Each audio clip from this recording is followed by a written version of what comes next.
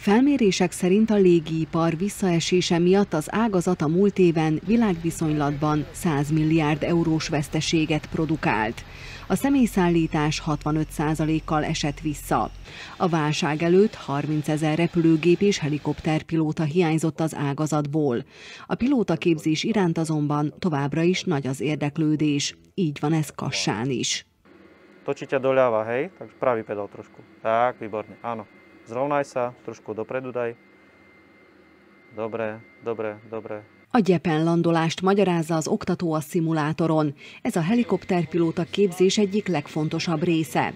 A szimulátoron 11 órás képzésben részesülnek a hallgatók. Itt minden olyan helyzetre fel kell készülniük, ami a valós repülés során komoly következményekkel jár, vagy akár végzetes is lehet. Mm, Sokan azt hiszik, hogy egy ilyen szimulátor olyan, mint egy közönséges számítógépes játék.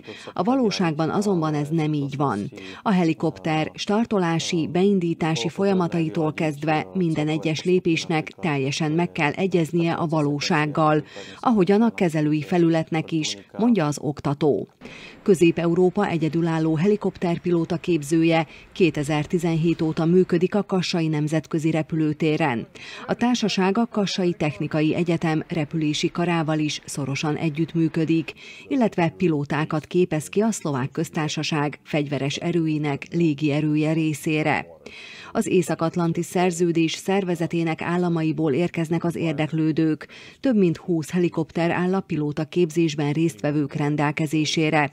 Köztük négy amerikai közepes teherbírású, több célú UH-60 Black Hawk civil verziója výcviky pre všetkých, jak pre civilných. Szlovákiának a tengeren és a sivatagon kívül mindenféle adottsága megvan. Vannak hegyeink, síkságaink, víztározóink, így a képzések széles skáláját tudjuk nyújtani, mondja a cég képviselője.